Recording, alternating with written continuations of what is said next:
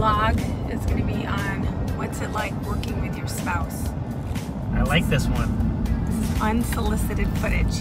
He didn't even know it was coming at him. So what is it like?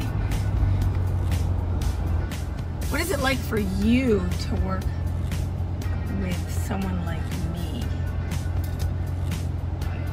What is it like? It's uh, it's exciting. Full of energy. There's energetic conversations that happen. That's a, that's a nice word. Drama? Drama sometimes, not Yeah. that much. I don't deal with drama What do you think it's, um, what is it like to always be with me all day, every day? all day, every day. I think it's fun to hang out. You know. Do you think it's a challenge for people to work with their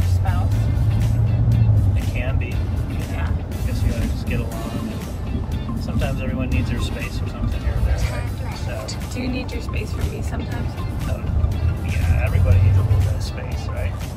Yeah, I need So- my space for me. You need some space. I do. Sometimes I It's do. healthy. Yeah. It's healthy. Yeah. So, but know, we get along pretty good. Yin and yang. Yeah. I'm pretty easygoing, so that makes things, you know, normal. Am I easygoing? Be honest. Raw Are and real. easygoing? Am I easygoing? Yes, but not as much as me. I think sometimes I can be a pain in the butt. I'll throw myself under the bus. Some days. It's it's all a matter of perspective. Depends on what's going on. When when when things start going sideways multiple times, Yeah. you know, all at once, I guess that's that's a challenge. Yeah, it can be. Uh, I think the other thing, would you say that it's um, our work is always with us. Yeah. We work together. So I think that that can be um, like even when we're at dinner, we're like, okay, we're not going to talk about work. Yeah, that kind of doesn't happen really, but Yeah. moments. Yeah. But when you love what you do, Yeah. and then It you love who you do it with, That's right. Makes it all easy. yeah. Here at our office, we use Barbie dolls. I call them therapy dolls. So we usually use them as a listing agent talking to a buyer agent. right now, we're going to use it for my and Todd's marriage since we work together all day and most of the day he ignores me. So, hey Todd, how are you? I'm good, Colleen. How are you? How come you always ignore me? Is it because I never shut up? Todd? What's um what's your favorite part about working with me? Working with your spouse? Um, Let's turn around. favorite? Yeah. What's your favorite? Well, let's see. It's it's fun because we can go do stuff. You know, Mm-hmm. it would be efficient. We can get stuff done. We can talk immediately about something. Mm-hmm. can brainstorm, like bounce things off each other real fast. Make quick decisions. What do you think about when I ask you um, about a marketing idea? Um, what?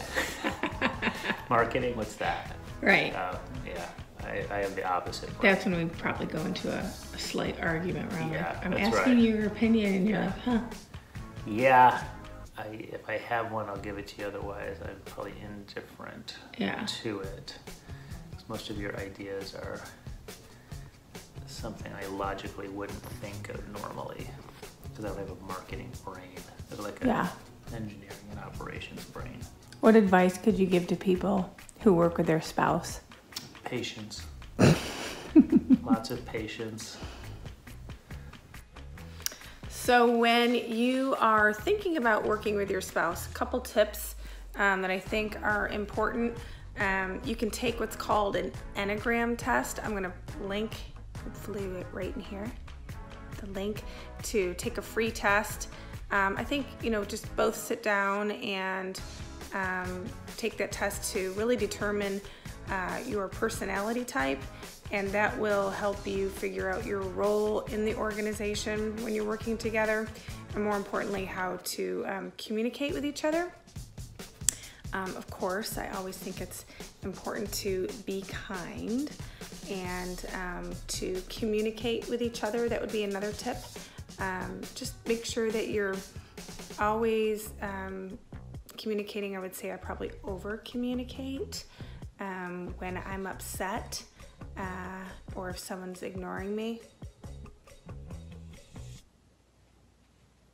I communicate that. So that's important. And uh, number four, most importantly, um, remember that your relationship comes first before work. Um, remember to always date and to take time out for each other. Definitely um, take that test, and I think even if you're, um, you know, working even with a friend, this would be a great test for you to take so that you can decide um, and, and learn from each other's personalities. Look who's with us. It's Lola. Yay! You smile? Yeah, she's super happy. Okay, look at this cool thing we have that we ordered that I absolutely love. Look at that. Whoop, whoop. So it's a really cool car magnet. You do that, and then boom, your phone sits there. Ah, love it.